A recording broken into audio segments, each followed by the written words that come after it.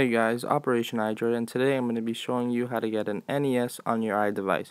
So the first thing we're going to need is NES 80 Plus, and then we're also going to have to add the source, the Insanely I repo. And for demonstration purposes, I'm going to be showing you how to get it with NES ROMs D through G. Okay, let's get started. Number one, you're going to need a jailbroken iDevice, and then we're going to open Cydia. We're going to let Cydia load and we're going to go to the Manage tab. Then we're going to click Sources, top right, Edit, top left, Add. And we are going to add the Insanely I repo. And it goes like this. R E P O period I N S A N E L Y I dot com. And we're going to click Add Anyway. I am going to click cancel, but you guys let it load. But I'm clicking cancel because I already have it. So once that finishes loading for you, you guys are going to click return to Cydia, and then we're going to go to the search tab. We are going to search NES and then space. And right here, as you can see, is NES 80 Plus. And the reason we're getting this one is because it is iOS 5.0 and 5.01 compatible. So let's click on it. And as you can see, it loads perfectly and allows us to install it. So we're going to click top right install, top right confirm. So um, the reason we're getting this one is because it's free and it's iOS 5.0.1 and 5.0 compatible. And the only bad thing about this is that it has advertisements. Though they are not in the actual emulator, there are some advertisements there. So next thing we're going to do is search NES ROMs. Oh, my bad. I just spelled that wrong. Um, NES and then ROMs and as you can see we'll get a prompt here and you can see it has every ROM A through Z but of course separate into packages. I'm just going to D through G for demonstration purpose but you guys can just choose whichever one you want. So again top right install, top right confirm. Now this is just one way of getting ROMs on the NES but I find this the most effective way because um, usually ROMs from Cydia are um, less buggy, for lack of a better word. Like they don't crash as much compared to ROMs you get on the internet. And um, I, with the Insanely I source, we basically have every ROM A through Z. I'm not saying that it has every single ROM, but it has almost all of them A through Z.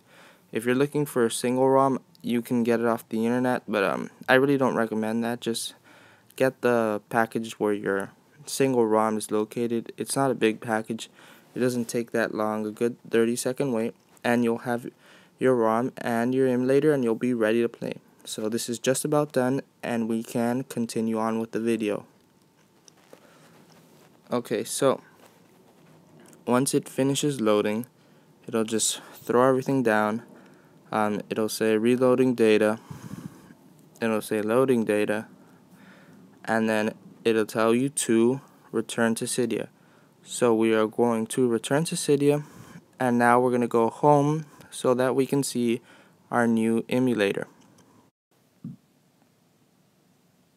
Okay, now that we're home, we're going to look for the icon on our springboard. And there it is. So, it should look a little bit something like this. That is the emulator that we shall be using to play NES. As you can see under it says NES 80 plus. So we're to go ahead and click on that. It's got a nice GUI. And as you can see on the top here, this is what I was talking about, the advertisements.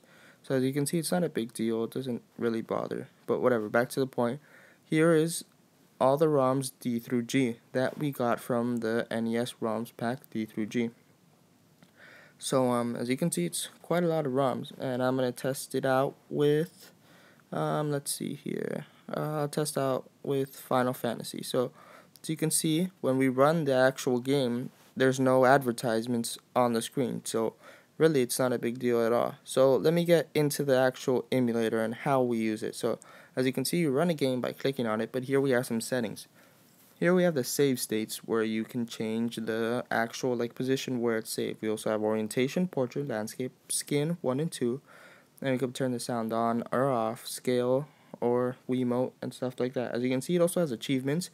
The NES, when you saw that I opened it, I got an achievement. And, um, sorry, it crashed, but, um, that shouldn't happen to you. It only crashed on me because I'm using display recorder to record my screen and it kind of makes it crashy.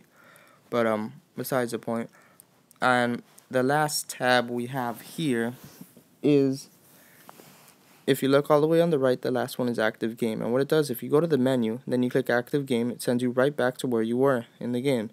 And also, you can see the S here on the top, that saves the game, and the L loads the last save. As you can see, it said 1, so that, I mean 0, so it's on save state 0. So you have to change it with every game. Um, thanks for watching, Operation iDroid.